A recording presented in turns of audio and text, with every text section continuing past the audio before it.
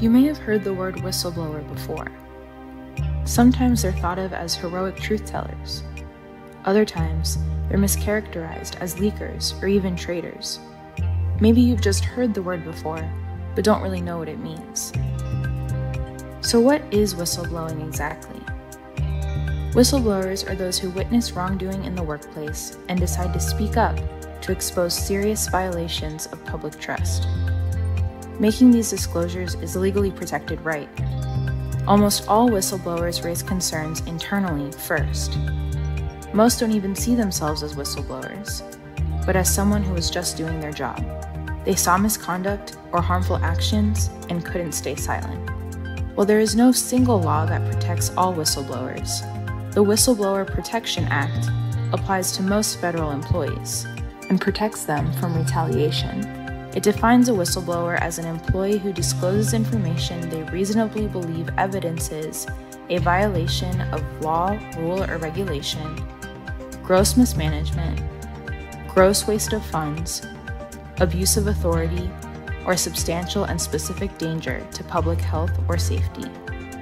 This definition of employees as whistleblowers shows that workers are not only the most likely to witness wrongdoing, but also the most likely to suffer reprisal for reporting it. Furthermore, the kinds of problems that qualify as whistleblower disclosures are serious, demonstrating that whistleblowing is about speaking up for the public good. They are thus the very definition of public servants.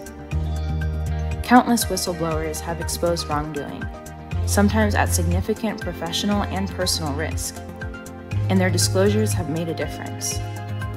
Take Dawn Wooten, a nurse at an ICE detention center in Georgia. She shined the light on dangerous practices that contributed to the spread of COVID 19 among immigrants and workers, and on unnecessary hysterectomies and other invasive gynecological procedures performed on immigrant women with dubious consent. Her disclosures generated viral public outcry and organizing, congressional calls for investigations, a class action lawsuit of immigrant women who survived medical misconduct at the ICE facility, and an order by the DHS secretary to end immigrant detention at that facility. Or Jay Brainard, the federal security director in Kansas for TSA.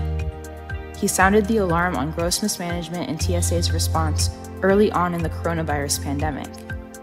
His disclosures prompted TSA to update its safety protocols in July 2020 or Dr. Maria Caffrey, a climate scientist with the National Park Service, who pushed back on attempts to censor references to human caused climate change in a report she wrote. The report was ultimately published uncensored, but she was eventually forced out of her job.